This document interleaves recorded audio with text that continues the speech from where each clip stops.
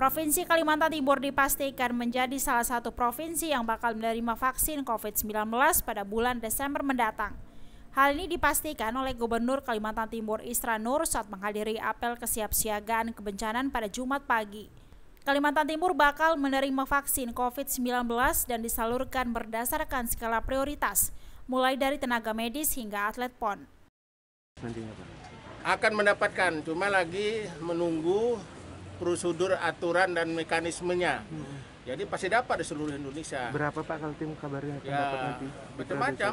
Jadi katanya paling tidak ya berapa?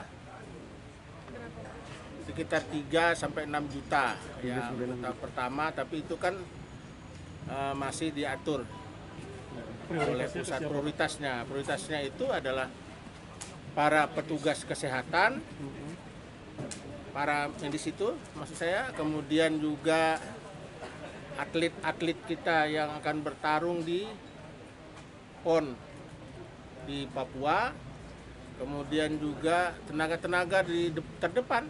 Ya, kalau wartawan tidak masuk. Vaksin dari negara China ini diharapkan bisa mencegah penyebaran COVID-19 khususnya di Kalimantan Timur. Iskandar Amir Dahlan Kompas TV Balikpapan, Kalimantan Timur.